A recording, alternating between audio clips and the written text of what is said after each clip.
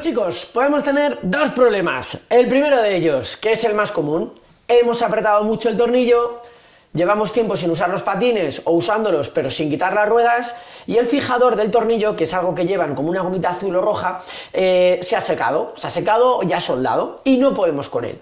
Bueno, pues es el primero de los problemas, el más fácil de resolver y es el que me han preguntado esta semana por los vídeos eh, que estamos haciendo sobre las ruedas y me han preguntado que si podía sacar un vídeo, pues aquí lo tenéis, así que para vosotros. Eh, el segundo problema que podemos tener quizás también es bastante habitual, que es cuando un tornillo metemos la llave Allen o la llave Torx y por más que giramos ya no encaja.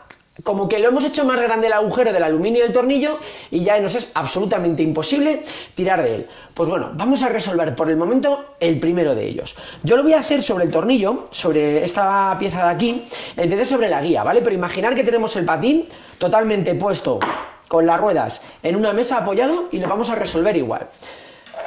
Antes de eso, deciros, el tamaño importa. Sí, sí, Chicas y chicos, el tamaño importa, al menos en las llaves salen.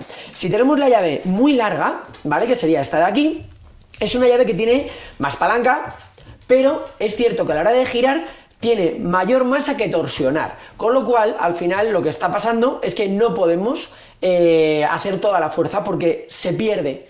Si cortamos la llave Allen, la dejamos como está esta de pequeñita, las pongo al lado para que se vean bien, nos va a resultar más fácil. Así que el primero de los trucos para llave Allen, para llave Torx no nos va a valer, es cortar la llave. Bueno, pues ya la tenemos puesta en el tornillo. Por más fuerza que hacemos, no somos capaces.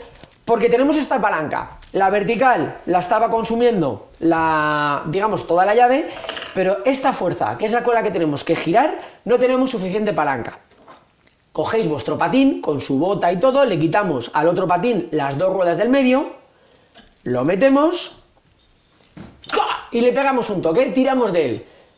Os puedo decir de 9 de cada 10 casos que sale, siempre vais a sacarla, es una cuestión de palanca, ya lo decía Arquímedes, darme una palanca y moveré el mundo.